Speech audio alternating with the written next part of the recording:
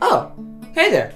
I'm Finn Wolfhard. You might know me as Mike from Stranger Things, or maybe Richie Tozier from the It movies, or you can catch me next year as Trevor in Ghostbusters Afterlife.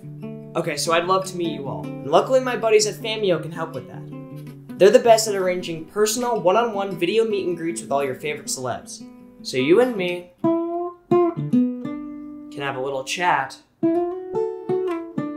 about anything you want to talk about. You can ask me questions,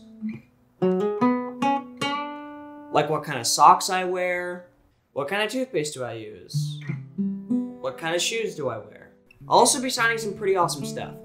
I can't wait to meet you guys. So tell your friends and family to head on over to fanmio.com slash finn. See you soon, guys.